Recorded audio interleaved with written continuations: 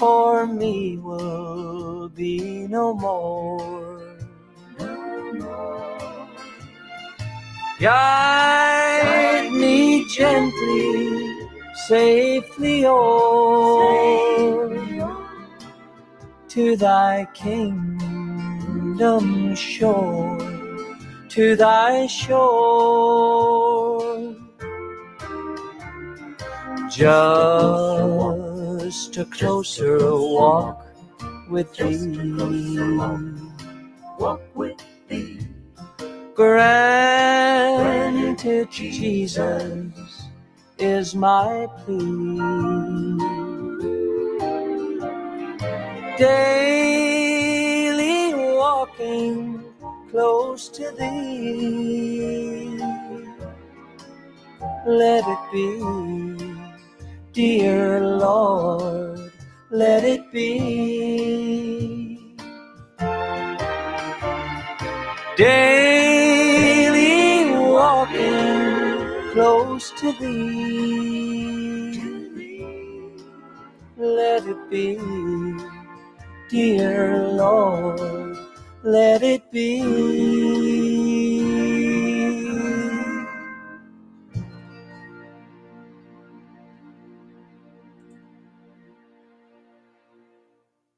Lighting up the Pioneer Valley with the love and praise of Jesus Christ. We are WLPVLP, nonprofit low power radio at 107.9 on your.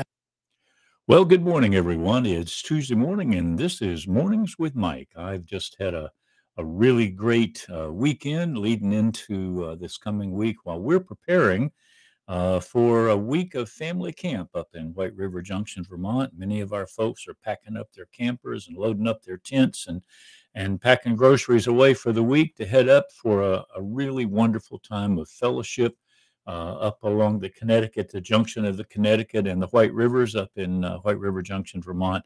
And uh, we're really looking forward to it. Our friend Joseph Josephus Housey from Agawam, Massachusetts, Redeeming the Times Ministries is going to be our speaker for the week. There'll be Bible classes for adults and teenagers and a VBS program for children. Great fellowship. Uh, if you're uh, if you're free in the evening uh, uh and you want to drive up, it's only 65 miles from Brattleboro.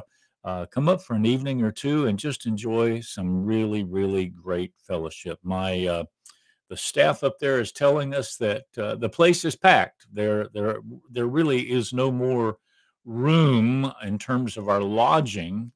people are people are anticipating coming and our, our lodging house is full. My daughter tells me that there's a few beds maybe left uh, uh, for um, uh, for teens to come in for our YPI program. All the camper spots, RV spots, tent spots, everything are packed. We are looking forward to a great time. I'm in hopes that you will be in prayer for us as we enjoy this very, very special time that we enjoy the first week in August every year for more than 130 years now. Now, I haven't been to all of them, but I've been to a lot of them. And uh, it's really, really a wonderful place uh, to be. So, uh, and Saturday night, this coming Saturday night, uh, I think it's the fifth, is it? I, my dates, you know, we're having a, a great uh, worship team who's going to be opening our camp with a great worship night, One King Worship from over in the Keene area uh, Scott Bedard and Gina and his team are going to be up ministering to us on Saturday night. And then Pastor Josephus is going to begin uh, his preaching ministry on Sunday night. All of the services in the evening begin at seven o'clock. We are right off the interstate. You get off at exit 12 as you go northbound on Interstate 91. And uh, the camp is located at 150 Advent Lane. Uh, if you want to come up for a day, uh, we we serve meals all day long, uh, breakfast, lunch, and, and dinner. We do not charge for meals. We simply ask people to uh, to share a donation with us to cover the cost of food. It's a great opportunity. It's a great day away. If you can't come for the whole week, at least come uh, for a day or for an evening or two or whatever you can do. It'll be it'll be a great great time. You know, last night I was uh, I was praying, uh, spending some time with the Lord, and all of a sudden, an old fashioned uh, song, uh, a song that I used to sing. I'm gonna I'm gonna go back to it and just uh, remind myself uh, of the words that uh, that came to my heart, uh, and it may bless you too. Here's the words, just the the first words of this hymn. I don't know why Jesus loved me. I don't know why he cared. I don't know why he sacrificed his life. Oh, but I'm glad. So glad he did. He left his mighty throne in glory to bring to us redemption story. Then he died, but he rose again. Oh, but I'm glad. So glad he did. And then the song goes on to say, Where would I be if Jesus didn't love me? Where would I be if Jesus didn't care? Where would I be if he hadn't sacrificed his life? Oh, but I'm glad. So glad he did. You know, that just thrilled me. I, I used to sing that song with the Southern Airs Gospel Choir back in the, the 60s uh, when Barbara, my wife, and I sang with a very dynamic gospel choir called the Southern Airs Gospel Choir. My friend Phil Felton, who's the bass singer for the famous quartet, the Envoys, Dove Award winning Envoys, uh, responded immediately and said, Boy, that used to be one of the favorite songs of the Envoys. We may, we may stick it back into our repertoire again. Uh, what a powerful message because I was I was coming down the road this morning and that just that that melody just kept reverberating in my heart. You know, sometimes we get discouraged, sometimes we feel like we failed, sometimes we feel like, you know, we're not living up to uh, to our expectations, and certainly realizing that we're not living up to to what it is always that God has called us to do and to be. And and we get maybe a little bit down in our spirit.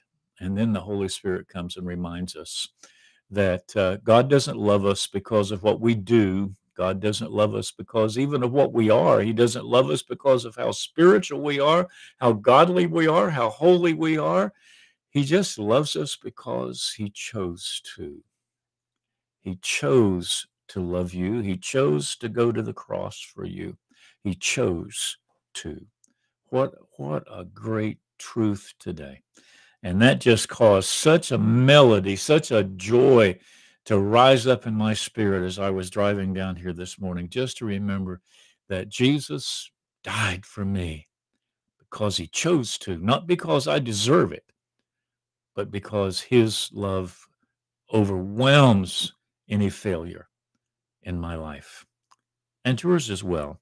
You know, the last, oh, I don't know, weeks and months, I have just I just have this growing sense of anticipation, this growing sense of anticipation that God is getting ready to do something in the earth.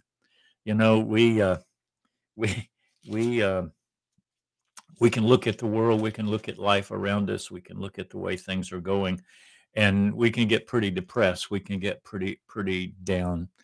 And uh, I just, you know, I, I know this revival, spiritual renewal, awakenings historically have come at the darkest hour, the most the spiritually darkest hour when God's people get desperate. Good morning, Kathy Steiner, all the way from the Great Smoky Mountains, place where I grew up. I done grew up there, Kathy. It's so good to see you on here. Revivals uh, are often characterized as a shaking. I want to talk about it a little bit this morning. Let me read for you just uh, a couple of passages of Scripture. A couple of passages of Scripture. The first one comes from the second chapter of Acts, very familiar passage of Scripture. And when the day of Pentecost arrived, they were all together in one place. And suddenly there came from heaven a sound like a mighty rushing wind, and it filled the entire house where they were sitting. And divided tongues of fire appeared on them and rested on each one of them. And they were all filled with the Holy Spirit and began to speak in other tongues as the Spirit gave them utterance. And then I want to read another passage just, just over in Acts chapter 4.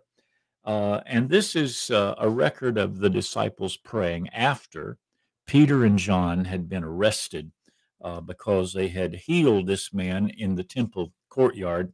They had healed him in the name of Jesus, and the the the Sadducees, the the Sanhedrin, were very annoyed, and they came with all sorts of breathing fire and threatenings and everything else, and uh, they prayed. They prayed uh, as a matter of fact, they said, and, and Lord, it's one of my favorite passages of Scripture. And now, Lord, behold their threatenings, and grant unto your servants that with all boldness we may speak the word of God by stretching forth your hands to heal. Signs and wonders may be done in the name of your holy child Jesus. And then we read in Acts chapter 4, verse 31 And when they had prayed, the place in which they were gathered together was shaken, and they were all filled with the Holy Spirit and continue to speak the word of God with boldness. And I, I love that. And the place where they were gathered together was shaken. It literally was shaken. You know, it must have been quite a shaking on that Pentecost morning when all of the the Jews from around the world had gathered together for the feast of Pentecost, and suddenly uh, the, there was a sound of a mighty rushing wind, and the place where the disciples had gathered, waiting on the promise that Jesus said would come, it was shaken. It it it was shaken by the wind, and then there was the, these the appearance of fire uh, resting upon each one of them. And you know what happened after that? They blew out into the streets and began to preach. And that day, three thousand men uh, were saved. Uh, you know, Duncan Campbell uh, was preaching in the Hebrides. He was one of the catalysts of the great Hebrides revival, and he tells the story of of them holding meeting after meeting after meeting with nothing happening. No, there was nothing. Nobody was coming. Not not only did was nothing happening at the meetings, nobody was coming to the meetings. The bars were full and the dance halls were full, and the church was empty and they were discouraged and they went up the the hill from the town and uh, and uh, they they just sat down discouraged and broken and began to pray. And uh, and uh, and as they prayed they went around the room and they were praying and it was kind of dry and discouraged and broken and and finally it came to one of the old farmers. I believe, if history, if my memory is correct, he was the guy who owned the house. He began to pray, and he prayed something like this He said, Lord, you promised you would pour out your you would pour out water on the dry ground and you're not doing it wow what a bold prayer huh that's a prayer of desperation that's a prayer of brokenness that's a prayer of of men crying out to God when when all of their efforts have failed. And history records that at that moment, that house began to shake. It was almost like an earthquake was building. Dishes began to fall off the rails and and and cups were falling out of the cabinets and and things were sliding off of shelves and off of tables. And the men ran out. They ran out of the house, I guess thinking an earthquake was coming. And they looked down and winding up the hill were lines, hundreds of people coming up the lines carrying their lanterns, drawn to that place by the Spirit of God, not drawn by any posters, not drawn by any promotional materials, but drawn.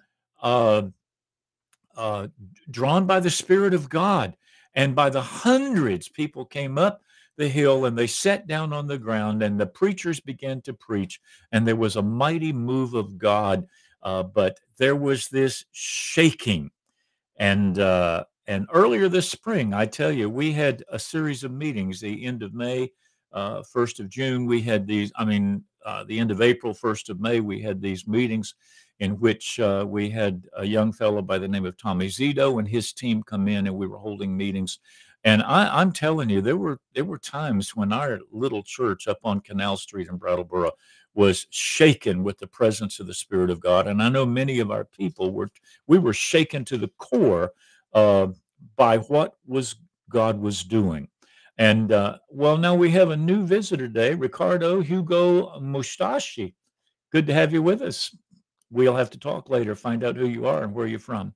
So, so I believe, I believe with all of my heart, God is preparing to shake the church out of her her crumbling foundations. You know, the, one of the prophecies of the last days that there would be a great falling away uh, from the body of Christ, and and we're seeing that. There's there are many churches today that have abandoned the gospel. They're preaching a social gospel. They're preaching a, a, the gospel of tolerance. They are preaching even things that are opposed and against the word of God, supporting uh, all of the sexual perversion, supporting uh, the murder of children and things. And there's a great apostasy in the church today. But I believe that revival comes uh, during the darkest hour when God's people get desperate. And I, I believe with all of my heart that we are on the threshold of a real shaking in the body of Christ. And I'm I'm one of the biggest cheerleaders. I've read a couple of things this morning I want to share with you later on in the broadcast that just support that that sense that I'm getting and it tells me that that I'm not the only one. There are other people who are just sensing something moving in the spiritual realm, something moving that uh, is uh, just causing a sense of anticipation to rise up in our spirits, believing that we're on the threshold of God doing something remarkable. You know, I've been preaching for some time now that uh, we're looking at uh, the coming a coming revival, a coming movement in the household of God. And this is this is what I've shared. This is what I believe with all of my heart.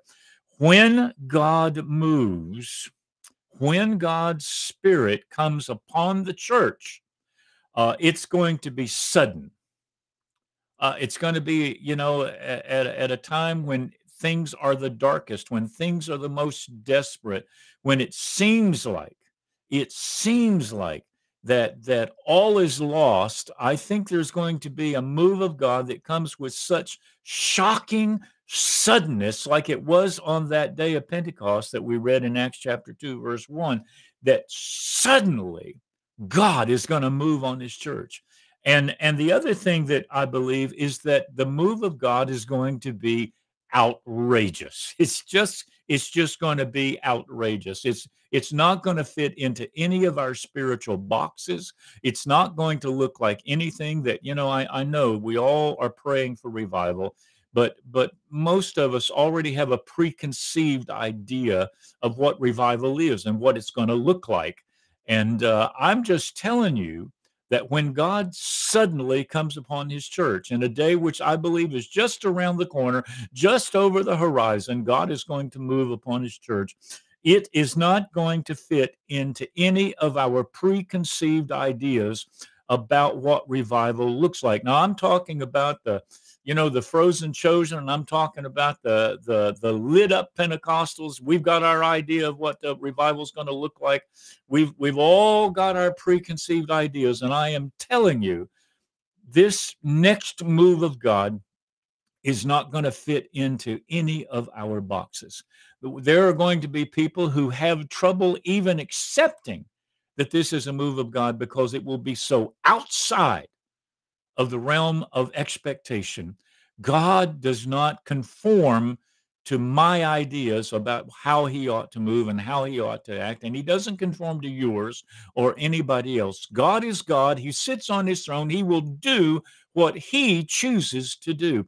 And I say, go for it, God. Just blow us up. That's been my prayer in recent days that he'll just come into the church and he will just blow everything up and say, let's start all over I'm going to give you a whole new concept of what it means to live in fellowship with God. Uh, you know, on that day of Pentecost, this just looking over some things. I, I love. I learned a new word last week as I was preparing for a preaching at a local church in our area. I learned a new word, and it's called uh, homothumadon. Homothumadon. It's a Greek word, and it's the word that was used in Acts chapter two, verse 1 when it says when the day of pentecost arrived or some some versions say when the day of pentecost was fully come meaning that it was at its peak. The disciples the ones that saw jesus ascend from the mount of olives into heaven the disciples who were told after the holy ghost comes upon you you shall receive power to be my witnesses in jerusalem in judea in samaria and to the uttermost parts of the earth those people who were told to go to Jerusalem and wait for the promise that would come from the Father, when the day of Pentecost arrived, they were homothumadon. They were all together in one place. Now, this, this word is used 12 times, I think, in the New Testament.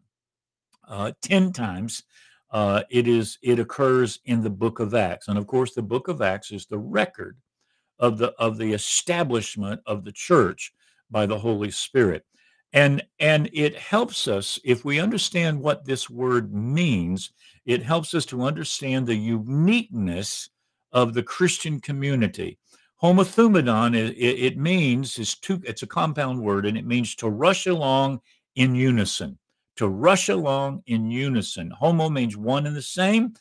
Uh, thumos means temperament, of the same temperament the same emotion of the mind, the same, uh, uh, it's an adverb which denotes the unity of a group, and it means with the same emotion, with the same passion, of one persuasion, of, of one desire, one mind, one accord, one purpose, one impulse, all together, unanimously, with unanimous consent, pertaining to mutual consent you know I looked all this up, right? So I'm reading it from my notes. Uh, by common consent, simultaneously as one. Homothumadon uh, describes the harmony of views and feelings and singleness of purpose. No schisms, no divisions, no divided interests, no discordant purposes. It's almost a musical image, like an orchestra that's getting ready to play.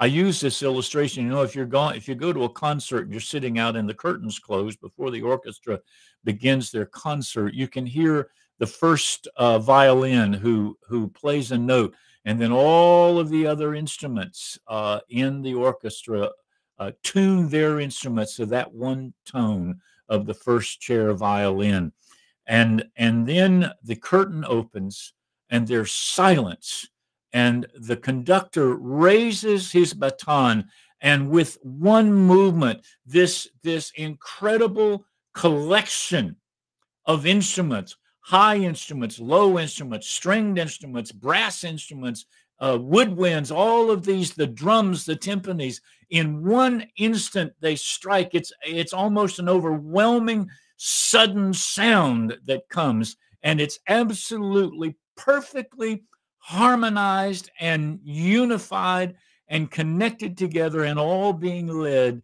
by the baton in the conductor's hand. And that's what happened in the church on the day of Pentecost. These people had prayed for they were in they were there for 10 days waiting on this promise, whatever it was that they had no idea what it was going to look like or what it was going to sound like or what it was going to do. They just knew that Jesus told them to go and to wait, and they were waiting. And then on the morning, about nine o'clock in the morning, as they were praying and worshiping, suddenly the orchestra began to play. The, the, the conductor uh, tapped the baton and began the concert and a great concerto of praise and worship and declaration came out of that upper room. And those people blew into the streets and they began. Uh, it was wonderful because the next verse tells us, and suddenly there, there came from heaven a sound like a mighty rushing wind, and it filled the entire house where they were sitting. Suddenly. Uh, are you? I'm. I want to set something in your spirit today. I want to. I want to engender a sense of anticipation, uh, anticipation that one morning we're going to get up. Maybe we'll go to church. Maybe we won't. Maybe just around the globe, the Holy Spirit will somehow create the spirit of homothumadon and the church will be bound together as one. And when that happens, That seems to be the key. That seems to be the kickoff. That seems to be the thing that initiated everything was suddenly these people were in absolute concert together. Absolute concert together. All of their spiritual instruments were tuned and ready to play. Oh my goodness. That's not the condition of the church today, but I believe that's what the Holy Spirit wants to do. He wants to bring a spirit of homothumadon, this, this concerto of spiritual uh, sound that will burst forth from the church under the direction of our great conductor, the Holy Spirit. And when that happened, you know, uh, there there came this mighty rushing wind. Uh, there were tongues of fire that sat upon them, and they all began to speak in languages uh, that they did not know, that they had not learned. Uh, you know, Jesus, uh, John said, John the Baptist said, "I baptize you with water, but the one who comes after me." will baptize you with fire. Now, baptism means to be immersed, to be immersed, whether it's water or fire, we are to be immersed in it. Now, the wind, the wind is always a, a metaphor or a symbol in scriptural terminology of the Holy Spirit, and fire is always a metaphor or a symbol of the presence of God. So, what happened was with the God the Holy Spirit came into that room and ushered in the presence of God the Father.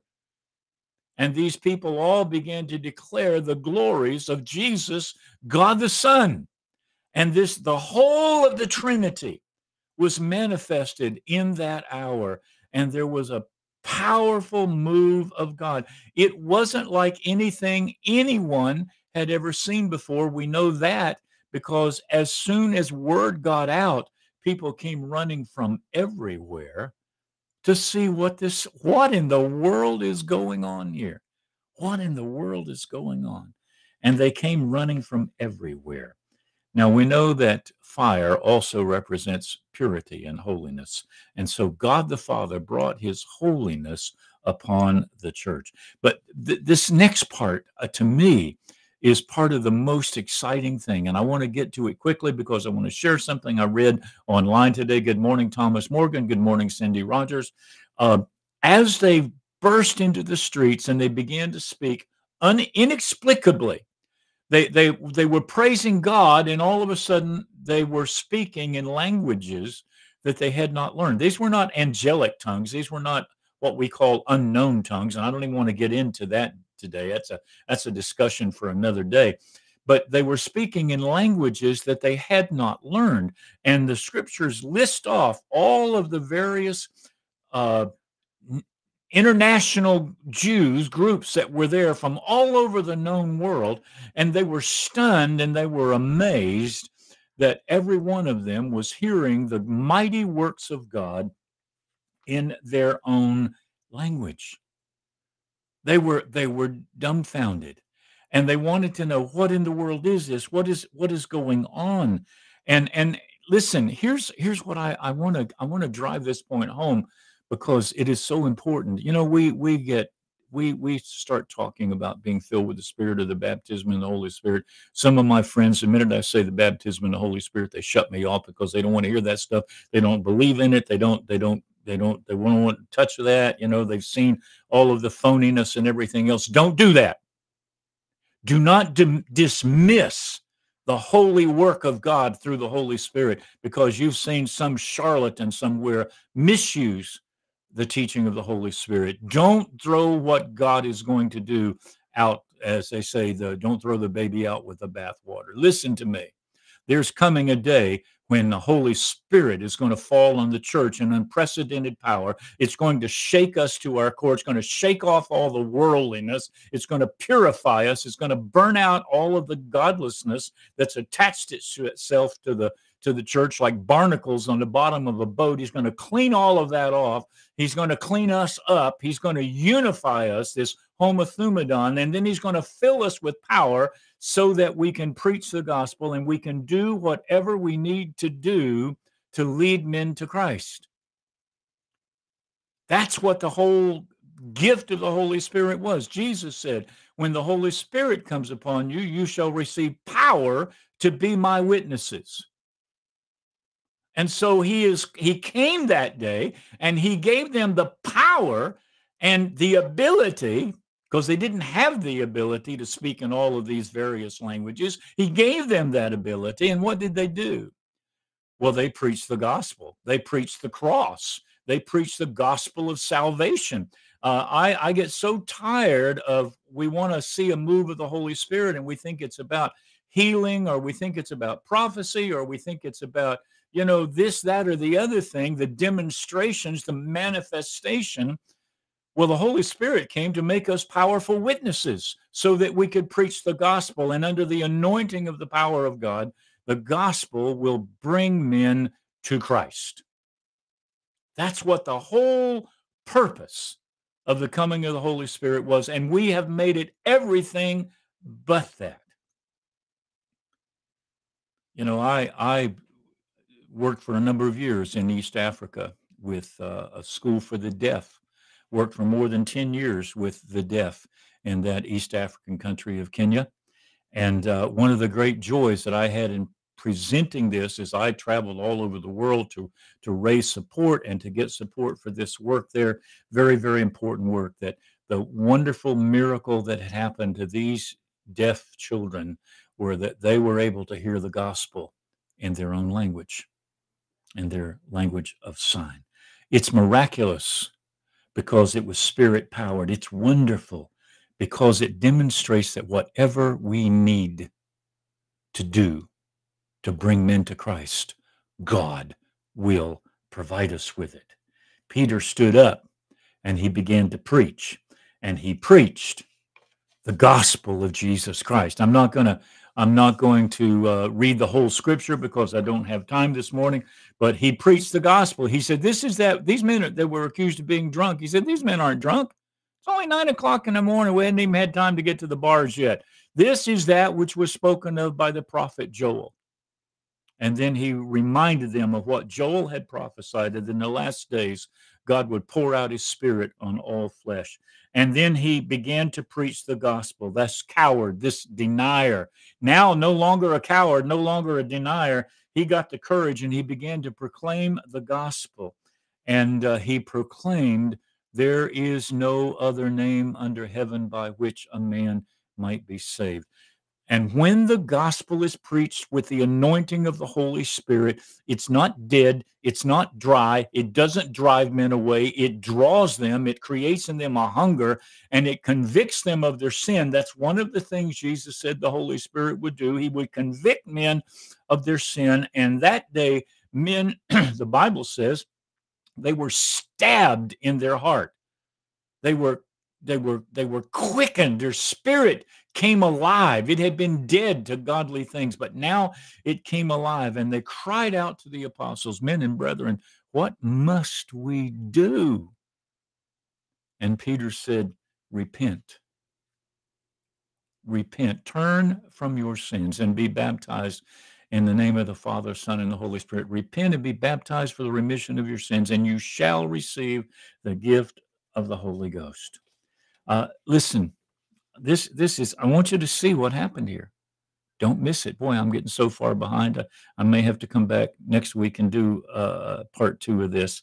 Uh, this was so different than what happens so often today. Peter and the other disciples, they didn't start holding miracle meetings. They didn't start holding miracle count, healing councils. They didn't. They didn't start holding prophetic conferences. They just preached the gospel.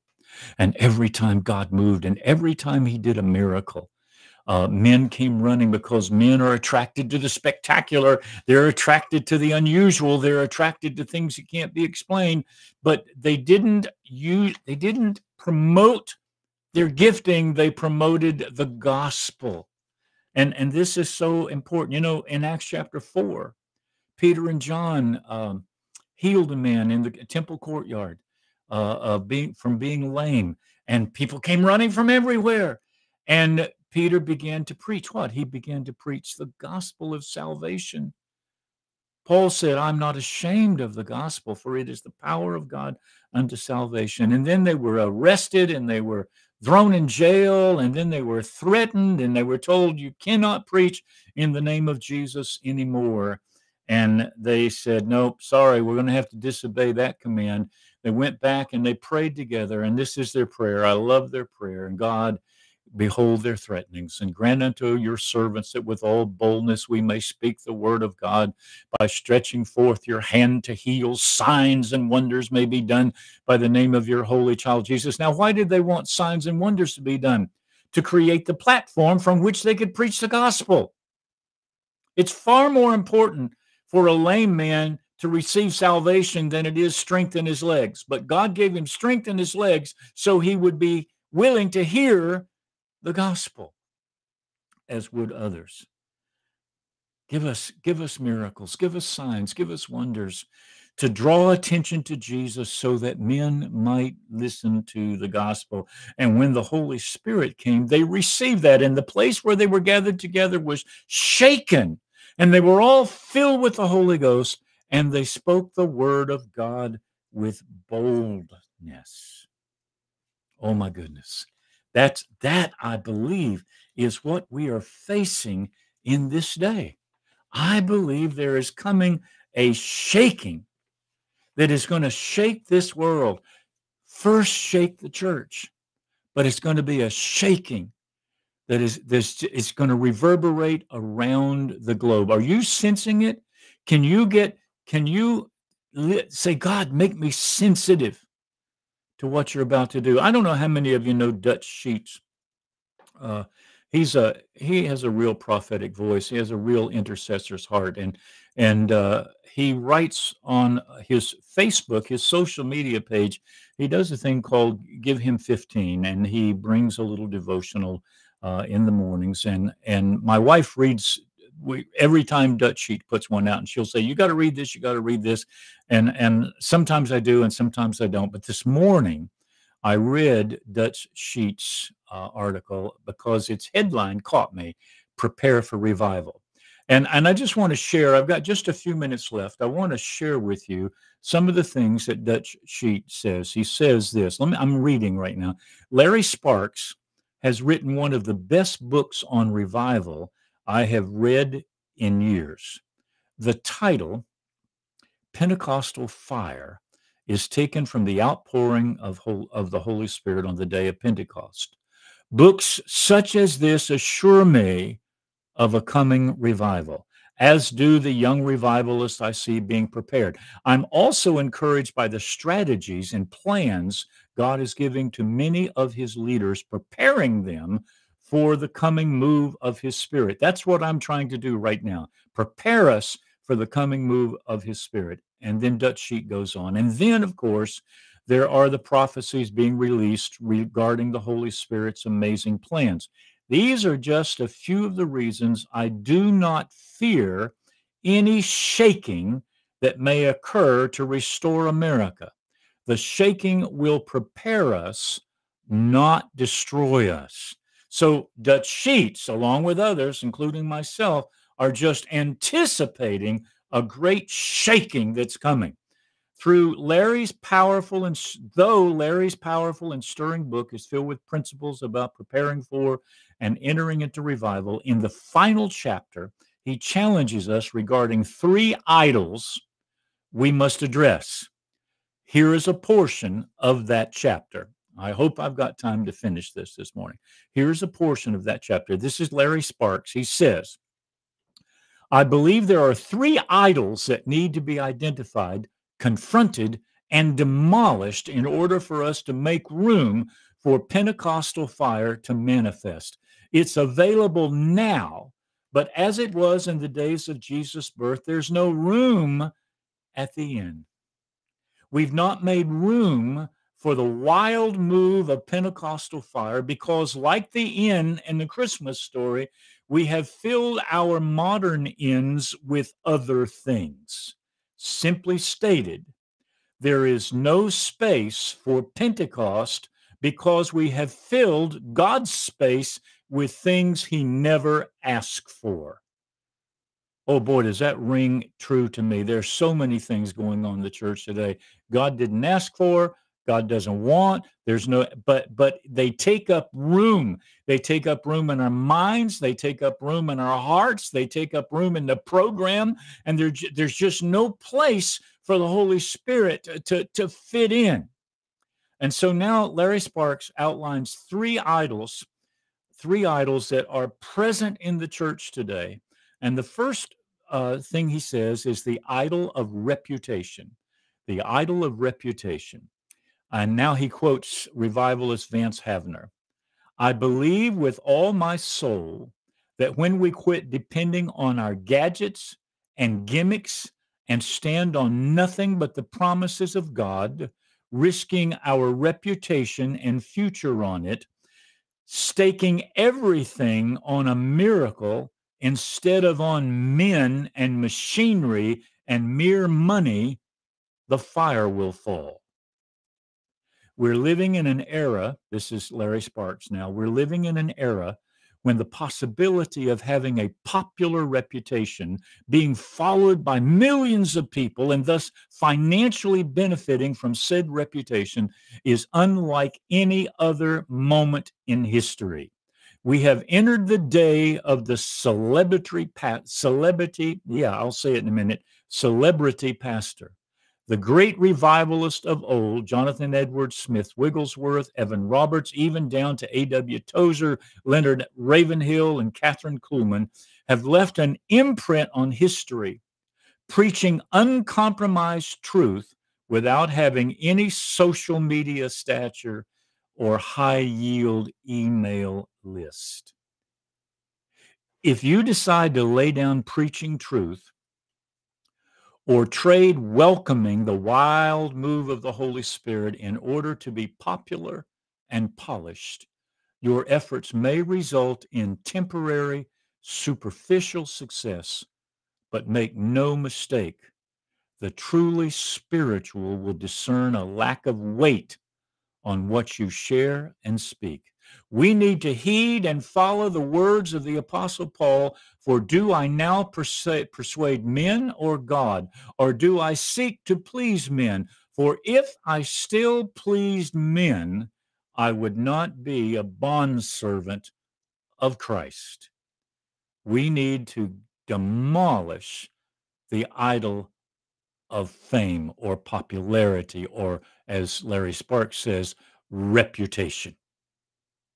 We have too many celebrities in the kingdom of God. Let me tell you what, friend, there's only one celebrity in the body of Christ, in the living church, and that is Jesus Christ, the sovereign Lord. He's our celebrity. John the Baptist said, I must decrease, he must increase. And the more I increase, the less people can see Jesus. Did you hear what I said? The more popular I become, the more greater my reputation becomes, the less people can see Jesus. The second idol that Larry Sparks says that we need to throw down is the idol of religion. Now he quotes C. Peter Wagner. The spirit of religion is an agent of Satan assigned to prevent change and to maintain the status quo by using religious, excuse me, devices. Larry Sparks goes on. The spirit of religion is not restrained to churches that feature pews, stained glass windows, holy water, and organ music.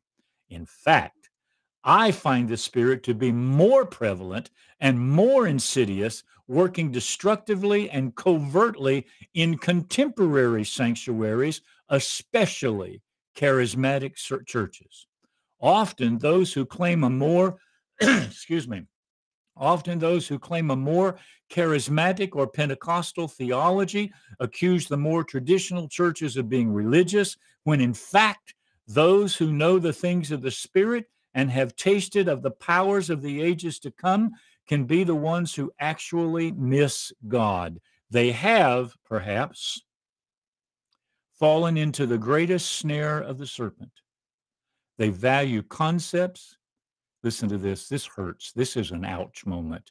They value concepts, conferences, events, receiving prophetic words, falling on the ground, speaking in tongues, and even prophesying about the new move of the Holy Spirit more than the demonstration and movement itself. Bottom line the spirit of religion, excuse me, resist any forward movement for the kingdom of God, seeking to influence honest believers into embracing the present state of Christianity as a ceiling and a lid that cannot be moved. The spirit of religion especially loves 1 Corinthians 14 40. Now, that verse, by the way, for those of you who don't know, 1 Corinthians 14 40 is let all things be done indecently and in de- decently and in order.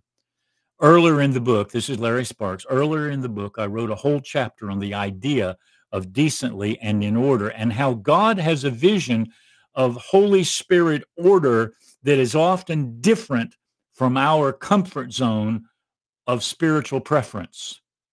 The spirit of religion will preach this verse out of context with great volume, insisting that anything that looks unusual, uncomfortable, or wild is certainly not the orderly, gentlemanly operation of the Holy Spirit. Wow. I read that several times and I went, ouch. He's talking about me. He's talking about the great heroes of the of the charismatic movement. He's talking about us, friends. We we look at the you know the Anglicans and the Episcopalians and the Methodists and the Lutherans and Presbyterians and the Baptists and all those guys and say those guys are full of religion. We're just as full of it. It just looks different. And we need to get the lid off and let God do what he wants to do. The third thing that Larry Sparks talked about, the third idol, is the idol of rigidity. And here's the question he asks Are we willing to be disrupted by God? Outbreaks of Pentecostal fire are released by breaker people who partner with heaven's divine interruptions. Duncan Campbell the evangelist who was catalytic in the Hebrides revival, describes one of the key events that broke open the region for the Holy Spirit outpouring. Here's the scene witnessed during the first days of the movement a crowded church. The service is over. The congregation, reluctant to disperse, stands outside the church in a silence that is tense. Suddenly, a cry is heard within. A young man burdened for the souls of his fellow men, is pouring out his soul in intercession. He prays until he falls into a trance and lies prostrate on the floor of the church.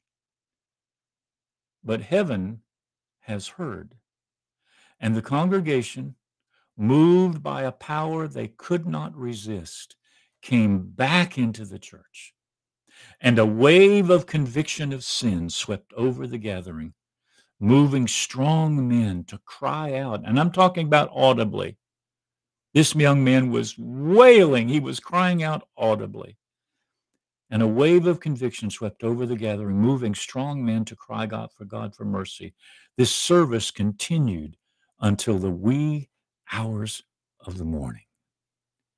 Note what happened. The cry was heard from the young man, pouring out his soul in intercession.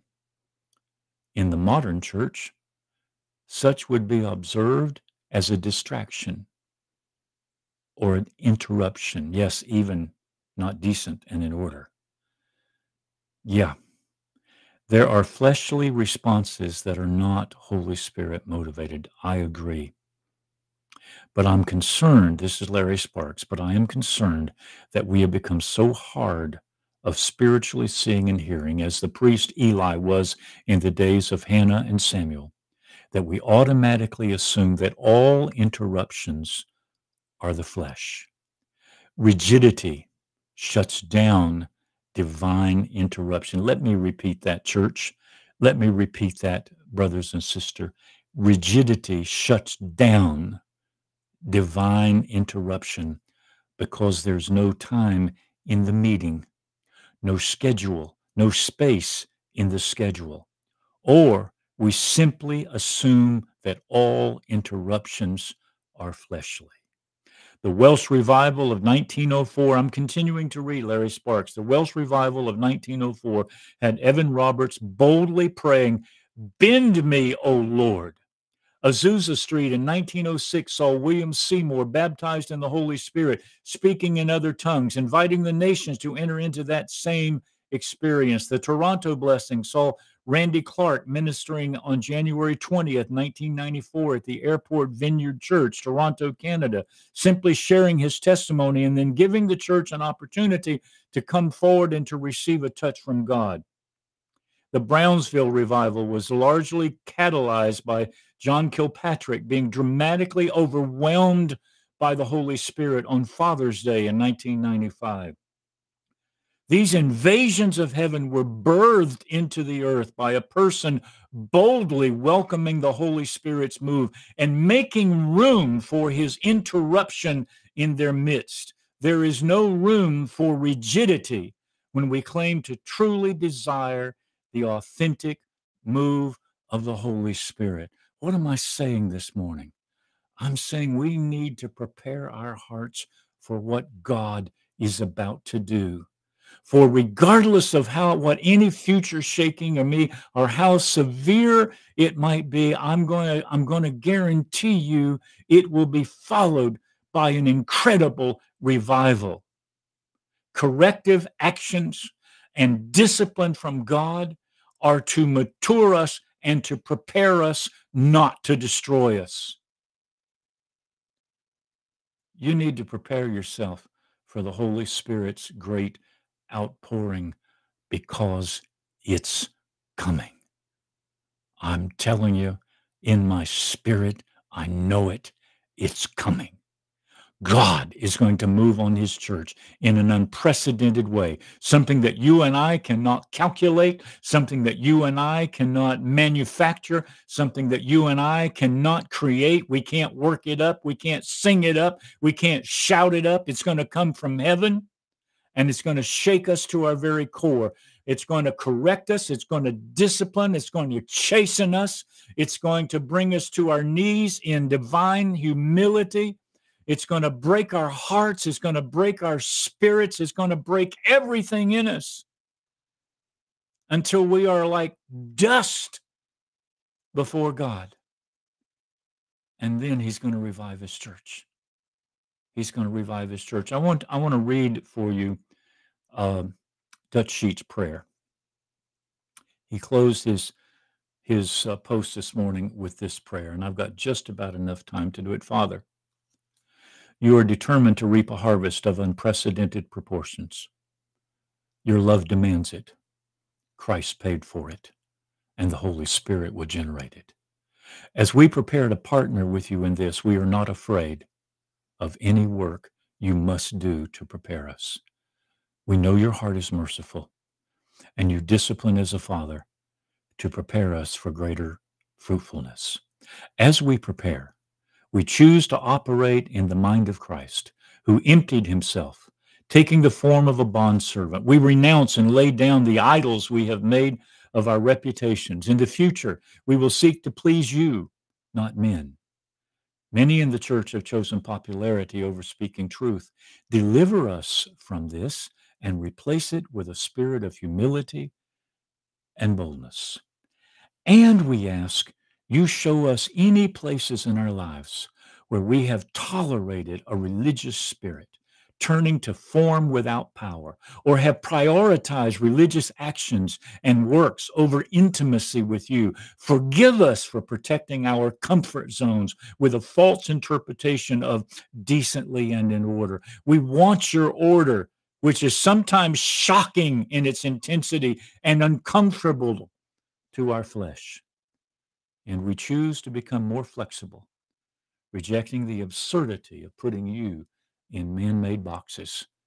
We determine to be pliable wineskins that can handle new wine. We do not care what revival looks like as long as it comes from you. We also choose humility, acknowledging that we don't know what your actions will look like, only that they are good, always. We pray all of these things in Jesus' name. Amen. Amen. Prepare. Prepare your heart. Chastening will come, shaking will come. A lot of the, you know, God shakes things so that, so that, so that everything that can be moved will move. You know, uh, uh, Jamie Buckingham once said, "You know what happens when when everything around you begins to shake, like in an earthquake? You look to find something that won't move." And so, when God begins to shake, He drives us to the Word of God. He drives us to our walk with God. Amen. God is going to put you on solid ground. He's going to shake you to your core. He's going to shake. He's going to. I believe He's going to destroy. He's going to allow churches to be destroyed, literally destroyed because of their unfaithfulness, because of their idolatry, because of their religion, because of their rigidity. He's going to he's going to shut down churches. They're going to fail. And to those of us that he uh, that desire and hunger for his move, he's going to move in. And boy, he's going to drive a lot of the a lot of the money changing tables out of our houses, uh, the things that we have brought in to replace him so that his house will once again become a house of prayer, a place where God's people are seeking him, a place where the, the man behind the desk is just a mouthpiece for the Holy Spirit. He's going to shake us, folks. Revival is coming, but a shaking precedes it. And then in the darkest hour, look for it. Listen for the sound of a mighty rushing wind. Listen, be sensitive to the shaking that's beginning. It's going to shake the house. We're all going to speak the word of God with boldness, and men are going to be saved. That day's coming. It's coming. Let's not, let's not fail to anticipate. Let's look for it. I'm Mike Gantt. This is Mornings with Mike. May the Lord bless you and keep you.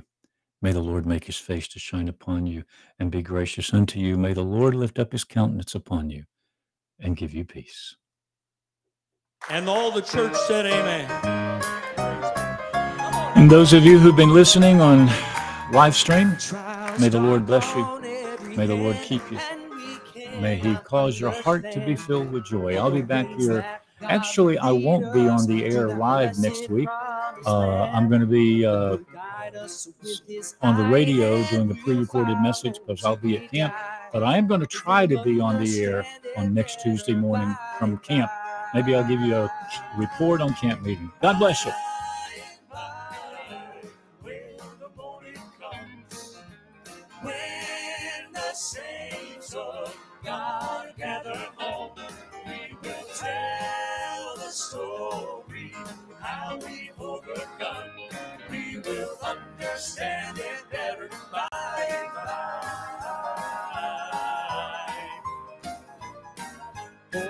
Temptations, hidden snares often take us unawares.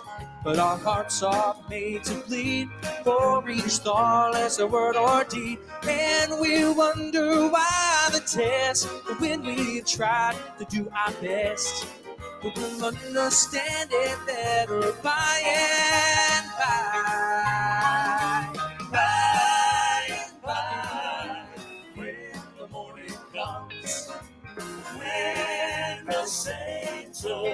God have home, we will tell the story how we've overcome.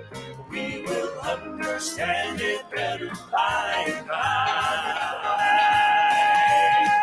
We'll soon be done with troubles and trials. Yes, in that hole. Yes, in that hole on the other side. I'm gonna shake that hand elders. Tell my good morning. Then I'll sit outside my Jesus. Sit and rest a little while. We'll see me in troubles and trials. Yes, in that hole. Yes, in that hole on the other side. I'm gonna shake that hands with the elders. Tell my kids good morning. Sit down beside my Jesus. Sit down and rest a little while. I'm going to shake the land hands with the elders. Tell my kids a good morning. I'm going to sit down beside my Jesus. I'm going to sit right down and rest a little while.